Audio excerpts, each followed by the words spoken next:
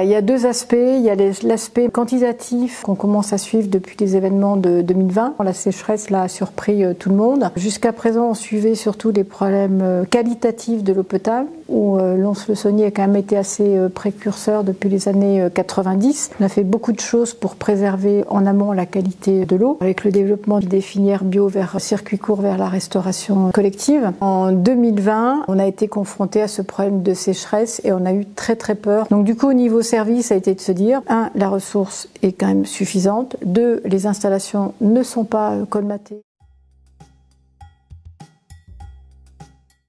Le CPIE a accompagné deux groupes de personnes volontaires dans ce projet. Le groupe des enfants, donc qui était en fait une école, une classe de l'école de l'Étoile, donc située à côté de Lons, une classe de 22 enfants de CM1, CM2, et le groupe des citoyens qu'on a mobilisé à travers l'enquête en ligne qu'on a fait en 2022, où le but c'était de voir un peu les représentations des gens sur la ressource en eau, les enjeux, etc. Et on en a profité pour poser la question de est-ce que vous avez envie de vous investir et de réfléchir à ces sujets-là?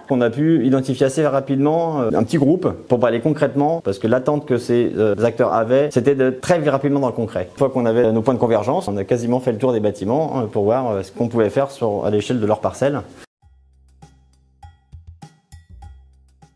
Alors on a constaté un fort intérêt sur le sujet. Quand on a organisé des visites de terrain pour euh, découvrir euh, le château d'eau, la station de pompage, on a eu énormément d'inscrits. Et puis on a été surpris de l'engagement des personnes à venir participer à ces ateliers euh, collectifs, à se retrouver ensemble pour produire une ou plusieurs fiches projets. Et ils sont vraiment très en attente que leur travail soit valorisé, repris par les élus qui sont en charge de ces questions à éclat.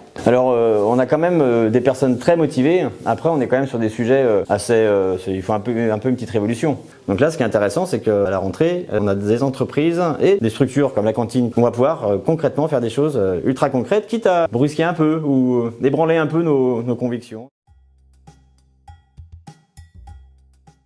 J'étais motivé par la dernière crise de l'été dernier, où j'aurais voulu savoir quelles étaient les mesures prises par les pouvoirs publics et quel impact ça avait sur les résultats, si euh, les consommations avaient réellement baissé. dans un premier temps, c'était plutôt une forme de curiosité, et puis de pouvoir partager mon avis avec d'autres personnes. C'est l'envie de faire un petit peu bouger les choses euh, collectivement, individuellement, on met en place des choses, et c'était aussi euh, se confronter aux autres et puis essayer de réfléchir ensemble à comment on peut faire avancer les sujets qui nous tiennent à cœur.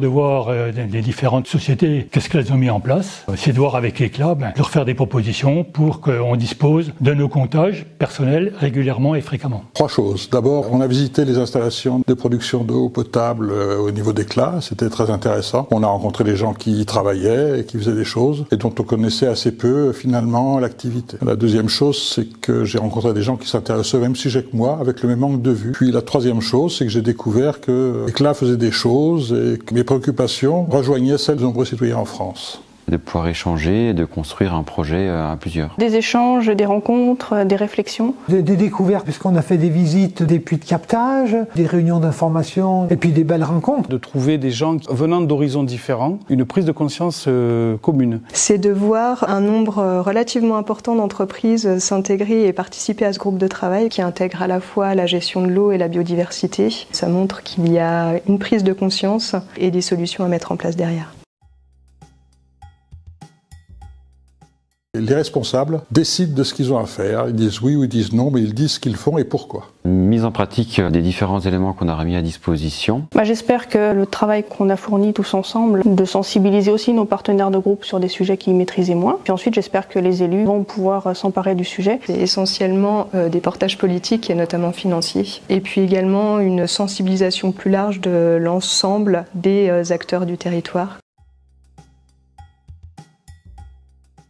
ECLA a pris euh, la compétence euh, gestion de l'eau en 2020. La politique de la régie eau est effectivement d'optimiser nos dispositifs. C'est pas aller chercher de l'eau ailleurs, c'est vraiment développer notre connaissance de l'ouvrage. Il y a une étude qui a été réalisée, des actions ont commencé à être entreprises et c'est vraiment une gestion rationnelle de l'eau.